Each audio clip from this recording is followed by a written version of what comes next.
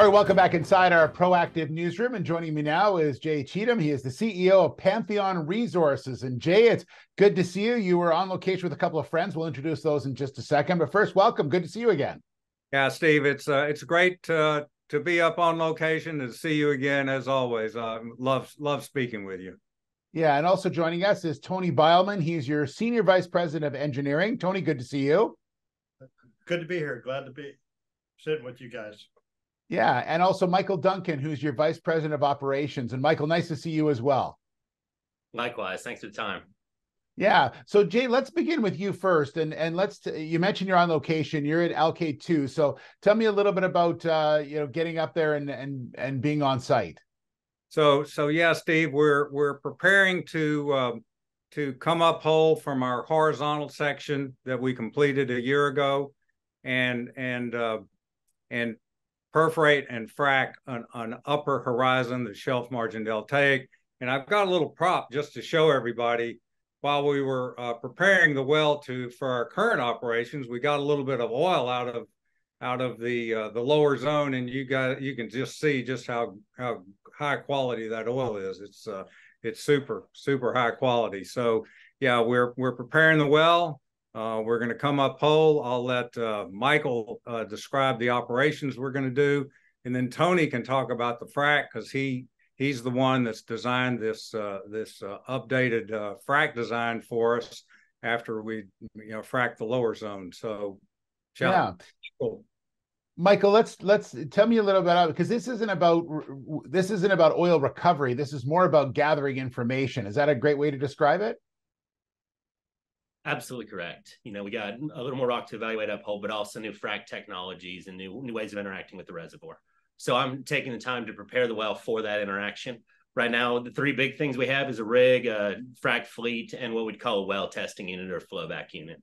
And so we're we're taking time to isolate the previous completion. Then we'll be perforating new completions and getting ready for a frac.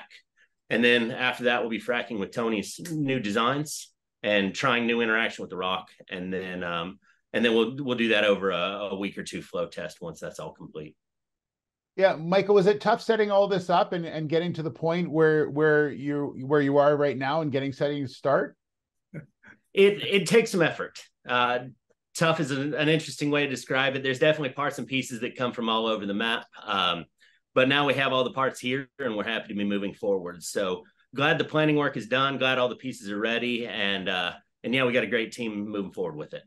Yeah, Tony, let's talk about uh, your design. Uh, I, I know it's been talked about over the last couple of months, and and tell me a little bit about the the differences now and and what you're planning to do here. Sure. So we've kind of we've uh, changed the sand concentrations and the type of sand up a little bit, where we're pumping some hundred mesh sand now to help us get uh, deeper frac penetration, if you will. Uh, we're pumping probably twice as much. We're pumping about 2,500 pounds of sand per foot. We're we're using uh, uh, slick water, which is a non-damaging fluid, to help us get that extension. And uh, we we're feeling very confident. We've kind of eliminated, uh, not eliminated, we limited the number of perforations we are to try to target a what what they call in the industry a, a limited entry profile because we think that'll help us get further extensions on those fracs that we create with the design. So uh, we've got a lot of crews here. We've got you know a lot of lot like Michael said, but it's taken a lot of effort to get to this point. Uh, but uh, been like a little bunch of ants running around here the last couple of days trying to get everything prepped. But but we're excited. We're going to see what what happens here uh, in, in the next couple of days. So. And, and then, yeah. Steve, you know, the flow back, as you said, it's all about gathering the data, and it's the data for for both of these guys. So you know we can we can do further planning. So it's pressure data uh, you know it's the it's the frac data and we're not going after a you know a, a, a, headline flow rate. In fact we are going to restrict the flow rate as we're you know as we're bringing the well on so we can capture uh, fluid samples under a steady state and and uh, and and watch uh, watch that flow rate uh, uh, just gradually bringing on stream. So uh, uh, Tony's, Tony... yeah, and I might add to that. You know, part of the the effort to to slow or restrict the flow back is, is allow that reservoir enough time to, to close on the prop that we put and we won't receive or get some of that sand flow back and have some of those sand issues that we've had experienced in the past. And, Jay, that's a key part of this. Is is you you know you've done a lot of work in the past, but if you you and I talked about uh, about a month ago, you said this is really the the restart of what you think will really be a um, you hope for success for Alkaid two. Is, is is that a good way to sort of let everyone know that this is sort of a the next big push?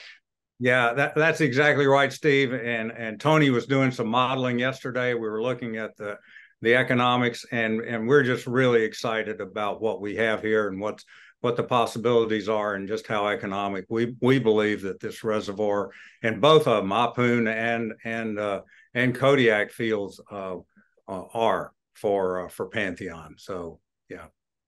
Yeah, good spot. All right, gentlemen. Well, thank you very much. I appreciate the time. Good luck with everything. And Tony and, and Michael, you get to work, and and Jay, uh, you you get in the kitchen and you'll be you'll be cooking for everybody. How about that?